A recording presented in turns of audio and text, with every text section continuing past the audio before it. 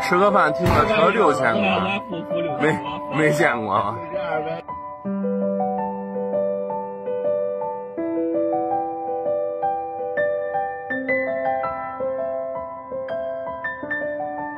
准备准备交费走呢，都扫码了，准备支付，一看怎么六千多，然后就在那等了一会儿，他工作人员就出来说他们也没遇见，调调弄弄，等了好一会儿，最后又重新录了系统吧，估计他系统问题，没有免单还是支付。